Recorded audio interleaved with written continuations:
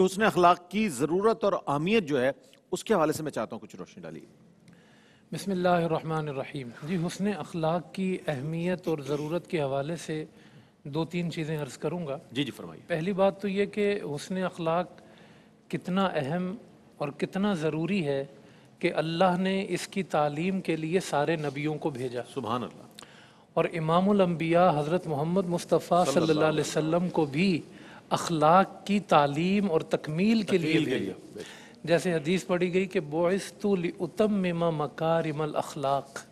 कि मैं इसीलिए भेजा गया हूँ कि मैं मकारिम अखलाक की तकमील करूँ। और रईस भाई ये भी काबिल तवज्जो है कि ये दावा किसी नबी ने नहीं किया। हाय हाय। हर नबी कहता था मैं अखलाक की तालीम देने आया हूँ।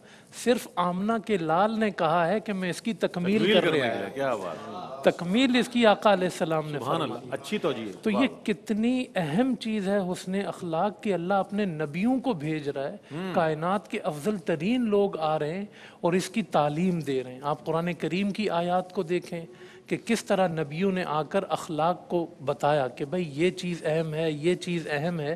कुरान करीम ने उसका मुकम्मल एक नक्शा बयान फरमाया।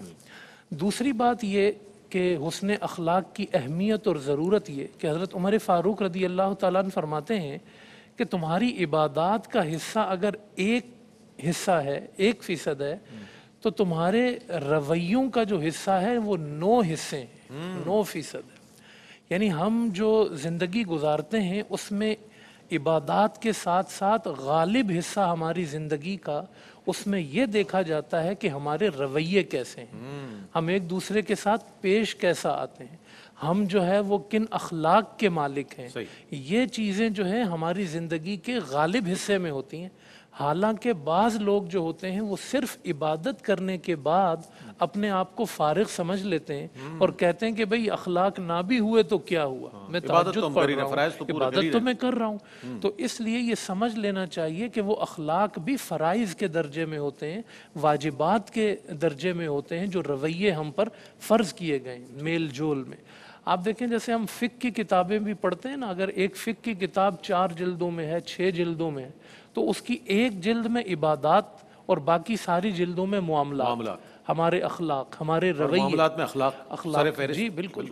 तो ये जो है ना समझ लेना चाहिए कि हमारी ज़िंदगी में गालिब हिस्सा हमारे अखलाक का ही है। ये इसकी अहमियत और ज़रूरत है।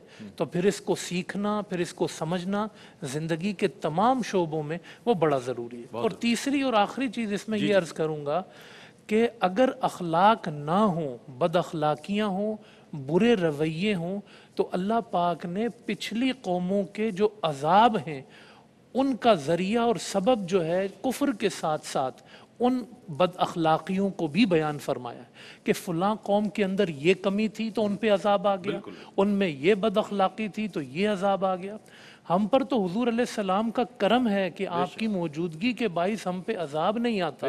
वगरना हमें ये गौर करना चाहिए कि पिछली उम्मतों में बदअखलाकी पैदा हुई तो उसको अल्लाह ने अजाब का सबब करार दिया है। तो ये इतनी अहम चीज़ है हुस्न अखलाक के अगर ये ख़त्म हो जाए तो रब का अजाब आ जाता है। इससे पता चला कि किसी कौम का किसी कौम के कौम बनने के लिए बल्कि किसी इंसान के इंसान बनने के लिए। हुस्न अखलाक बड़ा ज़रूरी है। रवैये बड़े ज़रूरी हैं। तहजीब नफ्स आपके अखलाक से होती है।